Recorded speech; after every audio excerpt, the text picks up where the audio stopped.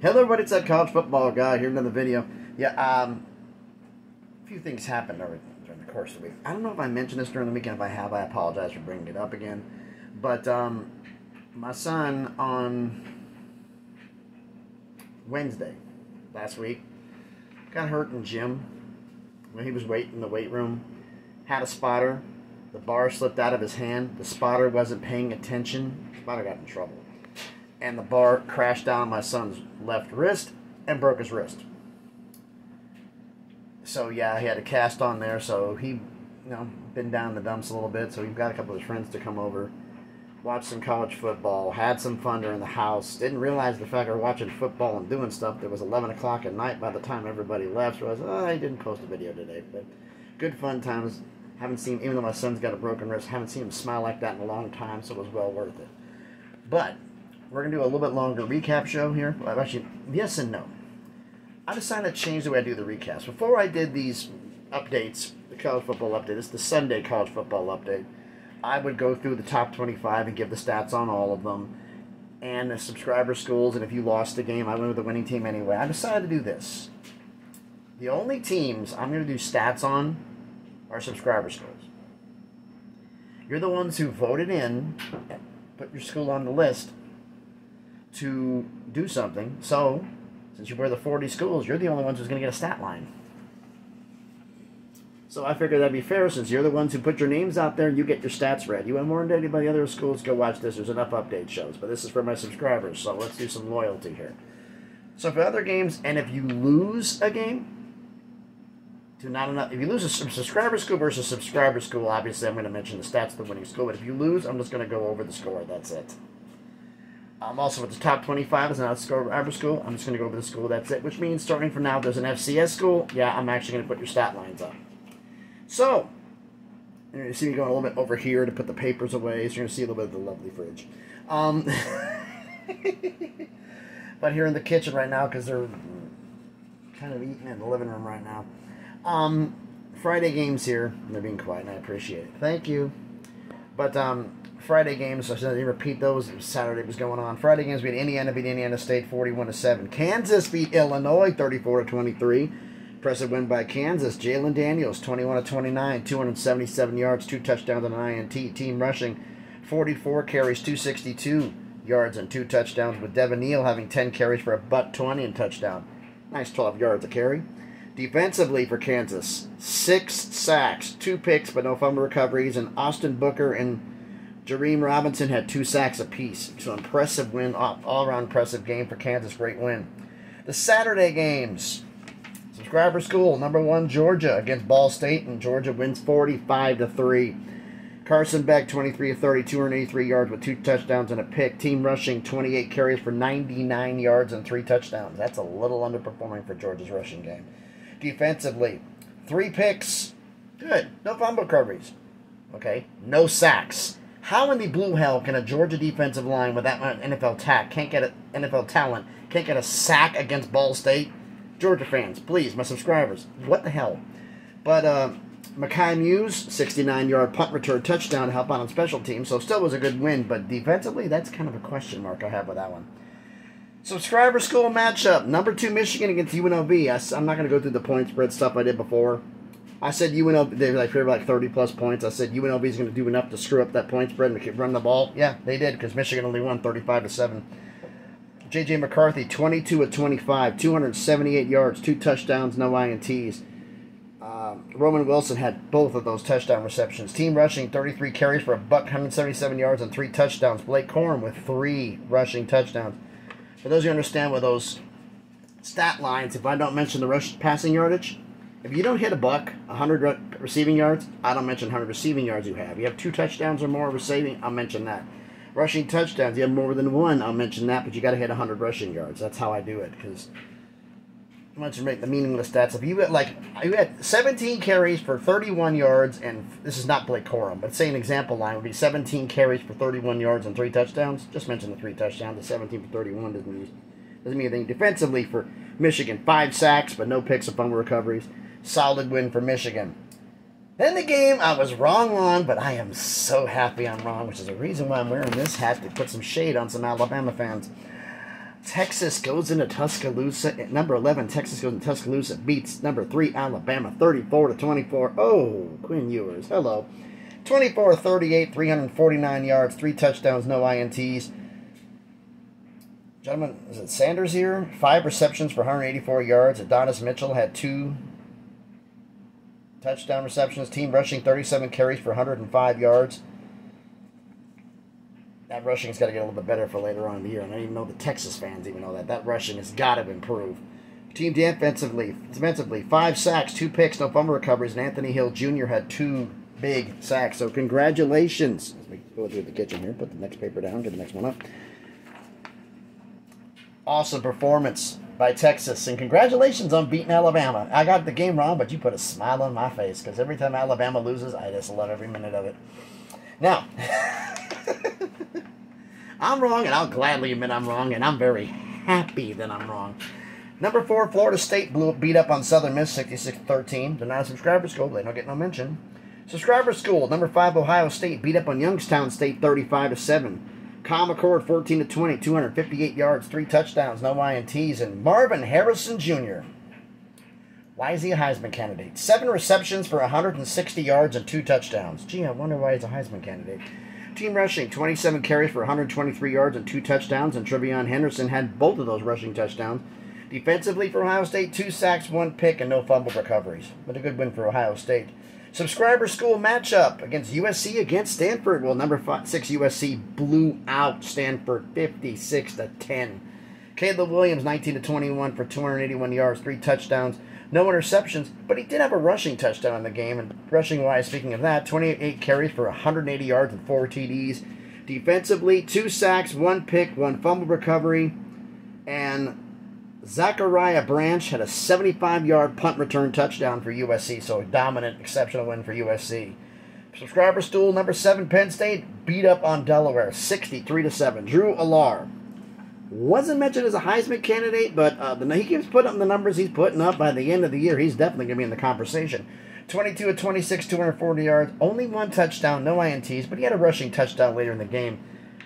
I'm saying that about Drew Allar to say, oh, he's not a quarterback. Um, he is improving game by game, and I've been noticing, so he's going to be something. Team rushing, 60 carries, 315 yards, six rushing touchdowns. Jadron Allen, 19 carries for 103 yards and a touchdown, and Nicholas Singleton had three rushing touchdowns. Defensively for Penn State, four sacks, one pick, one pummel recovery, and Dominic DeLuca had a 26 yard pick six. So Dominant win by Penn State. Subscriber School, number 8, Washington, beat up on Tulsa, 43 to 10. Michael Penix Jr., speaking of a Heisman candidate, 28 to 38, 409 yards, three touchdowns and an INT. Jalen McMillan, eight receptions for 120 yards and a touchdown. And Rome Odunze, Rome Odunze, seven receptions for 107 yards and a touchdown. Team rushing, 22 carries for 109 yards and three TDs. Defensively, team defense, two sacks, one pick, no fumble recoveries dominant, exceptional win by Washington. Now we go to Tennessee. My school. They did not look good in my eyes against Austin Peay I mean, number nine Tennessee did beat, did beat Austin Peay 30 to 13, but Joe Milton 21 of 33, 280, 28 yards, two touchdowns, no picks, but he had a rushing touchdown. The only rushing touchdown that Tennessee had 32 carries for 228 yards and a touchdown. Jaylen Wright had 13 carries for 118 yards, but come on, one rushing TD against this defense, not good. Team defense, this was the only bright spot. Seven sacks, one pick, one fumble recovery, and Aaron Beasley had two sacks. But they got to do better. They're not going to win that many. They're going to only win nine games, like I said they would at the beginning of the year. Number 10, Notre Dame subscriber school against NC State. This game was a lot closer than it looked. It was 24 17 Notre Dame at the end of the third quarter, but they put the gas on, hit, dropped the hammer, and left. Notre Dame beat NC State 45 to 24. Sam Hartman 15 to 24, 286 yards, four touchdowns, no INTs, and Holden Staes, I believe his name is, four receptions for 115 yards and two touchdowns. Team rushing 37 carries, 170 yards and two TDs, and Audric Estime, 14 carries, 134 yards, and two TDs. Great game defensively for Notre Dame. Three sacks, one pick, no fumble recovery. Um, put the gas and got on right. It's a good win for Notre Dame. Baylor, I'm not going to go through this, but um, you did a competitive game, but unfortunately you lost. Number 12 Utah beat Baylor 20 to 13. Subscriber school matchup again. Number 13 Oregon against Texas Tech, and Oregon beat Texas Tech 38-30. Close game. Bo Nix 32 of 44 for 359 yards, two touchdowns, no ints. Troy Franklin had six receptions for 103 yards and a touchdown. Team rushing 31 carries for 113 yards and a touchdown. Defensively, four sacks, three picks, and a fumble recovery. And Jeffrey Busa, uh, Bassa, I'm going to say his name right, 45 yard pick six. Uh, number 14 LSU beat LSU. 14 LSU, yeah, number 14 LSU beat up on Grambling 72 to 10. Not going into it. Subscriber school number 15 Kansas beat Troy 42 to 13. Will Howard 21 to 32, 250 yards, three touchdowns, and one INT. But he had two rushing touchdowns. So there, he's kind of for five touchdowns in this game. Team rushing 38 carries for 147 yards and three TDs. Defensively, four sacks, one pick, one fumble, fumble recovery, and Khalid Duke had two sacks. So, offensively, defensively, solid win for. I'm gonna lick the paper here. I'm old school. I do paper. Kansas State. Subscriber school. Oregon State beat up on UC Davis, 55 to seven. DJ Uiagalelei. I said that right. 8 of 13 for 107 yards and two touchdowns. This wasn't of a passing game. Team rushing 37 carries, 269 yards and three touchdowns with, uh, hold on. I think it was Danny Martinez. Seven carries, 104 yards, and a touchdown. Team defense, three sacks, one pick, one fumble recovery, and Silas Bolden had a 65-yard punt return touchdown. So a solid all-around win for Oregon State. Here's a game you should have watched. It was one of the ones we were watching. Number 17, North Carolina against Appalachian State, and North Carolina subscriber school won 40 to 34. The end of that game, regulation. Field goal goes up, goes wide right, but Appalachian State called an intercept, called the timeout. The game was great from the end. You can check, out the highlights or get a replay somewhere, watch it. It was a great game. Um, and then they called the timeout, so North Carolina had a chance to do it again and missed again. My son's going, there's no way they're missing this twice. There's no way they're missing this twice. There's no way. They missed it twice. I'm like, yeah, they did.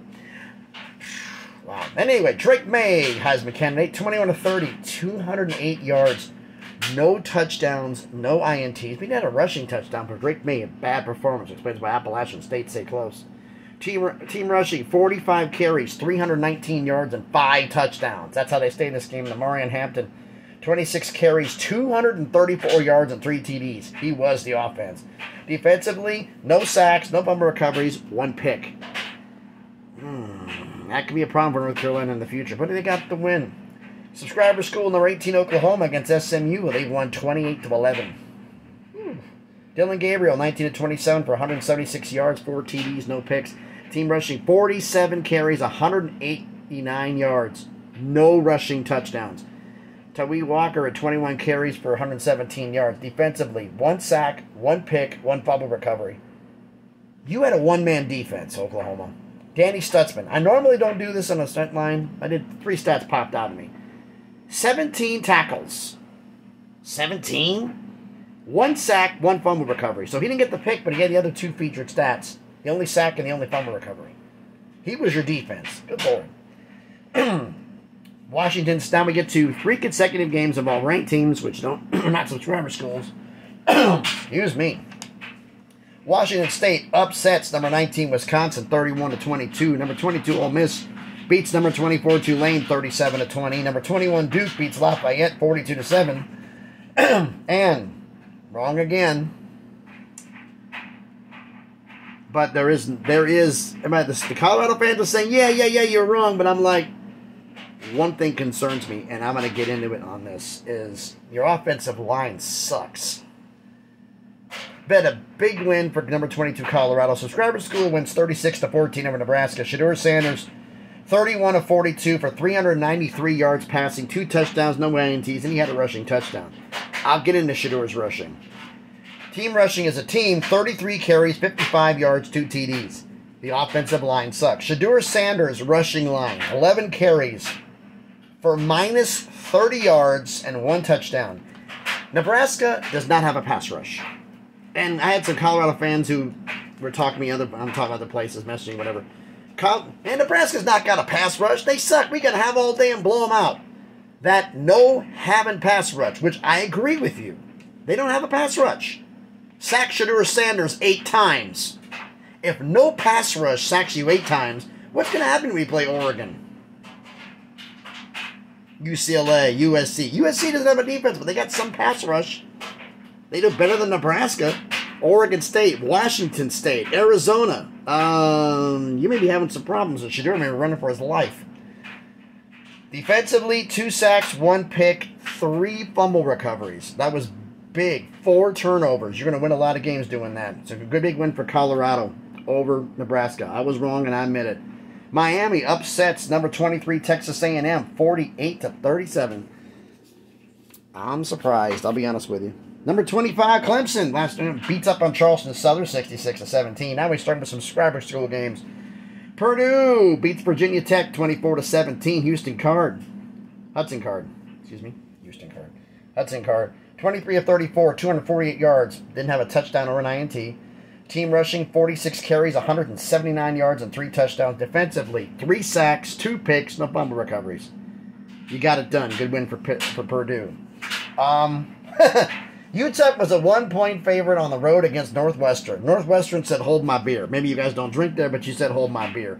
Northwestern beats up UTEP 38 to 7. Hello. Ben Bryant, 11 to 17 for 116 yards, one touchdown, no INTs, but he had a rushing touchdown. Team rushing wise, we bring that up 39 carries for 184 yards and three touchdowns. Defensively, four sacks, three picks, no fumble recovery. Xander Mueller had a sack and an interception. All around great win for Northwestern. I was wrong, but hey, great game. Toledo and Texas Southern. I said Toledo was a team that's going to be something to reckon with. They had the tough loss to Illinois. They took it out on Texas Southern. They beat them 71 to 3. Good lord. Dequan Finn, 16 of 17, 232 yards, three touchdowns, no picks. And Larry Stevens had two touchdown receptions. Team rushing, 43 carries, 178 yards, five rushing touchdowns. And uh, I think it's Boone here had three rushing touchdowns. Defensively, three sacks, one pick, one fumble recovery. Judge Culpepper, love the name, Judge Culpepper, two sacks and the fumble recovery. She had two out of three sacks and the fumble recovery. Big win. Marshall, East Carolina, East Carolina Subscriber School. You lost to Marshall 31 to 17. West Virginia, my subscriber school. Gets up against Duquesne. Had a big game. Big win. Wins 56 to 17. Garrett Greene, 10 of 18. 240 yards. Four touchdowns. No picks. Hudson Clement, five receptions for 177 yards and three TDs. man, that secondary must have been horrible. Team rushing, 49 carries, 304 yards, and four touchdowns. Jahiem White with 12 carries, a buck 10, and 101 touchdown. Defensively, three sacks, two picks, no fumble recovery. Good win for West Virginia, get you on the right winning track. Subscriber School North Texas. I'm beginning to think I started being guys. I had a good feeling about you guys. We're doing something. Well, now you're going 0 and 2. You'll, FIU, Florida National, one of the worst teams in college football, beats you 46 to 39. What in the world's happening over there? Well, speaking of games I got wrong, um, I picked Pitt over Cincinnati. Cincinnati said I have out the plans. They beat subscriber school Cincinnati beats Pitt 27 to 21. Man, my nose is itching. Emory Jones, 18 to 26, 175 yards, two touchdowns, one interception. Team rushing wise, 42 carries for 216 yards and a touchdown. And Corey Kiner, I think his name Corey Kiner. Correct me if I'm wrong. If I say his name wrong, please. 20 carries, 153 yards and one touchdown. Defensively, five sacks, no picks, but they had a fumble recovery, so good win. Came up when they needed it, and a big win for Cincinnati. Middle Tennessee State Subscriber School, you lost to Missouri. That's not a surprise you lose to Missouri.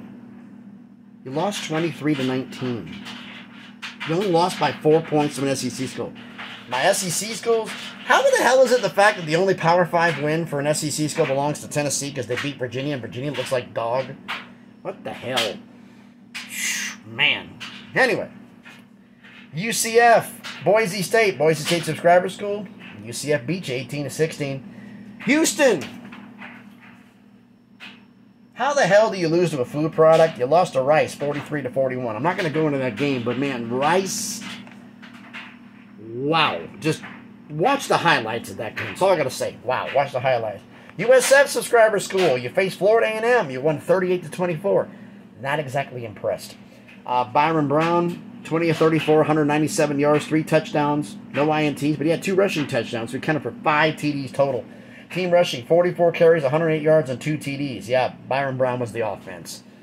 Defensively, four sacks, three picks, two fumble recoveries, five turnovers. That gets it done. And Logan Berryhill had two interceptions, so good win for USF. Memphis and Arkansas State. Memphis had no problem with Arkansas State. Being if Arkansas State's going to go 1 12 the way they've been beaten up. They win. Memphis beats Arkansas State. Memphis, the subscriber school, beats Arkansas State 37 to 3. Seth Henigan, 21 to 29, 239 yards, two touchdowns, no INTs, but he had a rushing touchdown to boot. Three TDs total. Team rushing, 41 carries, 150 yards, and two touchdowns. Defensively, three sacks, two picks, two fumble recoveries, four turnovers. That's good. With DJ Bell getting a 36 yard pick six. Big win for Memphis. Good win there. Minnesota subscriber school against Eastern Michigan. You win 25 to 6. Let's advance the score here.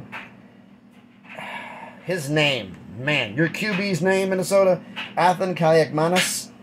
I'm saying it wrong. But anyway, 10 of 15, 117 yards. No touchdowns, but he did have an INT and a rushing touchdown. So only touchdown he contributed was on the ground. Team rushing, 56 carries, 296 yards, and two touchdowns.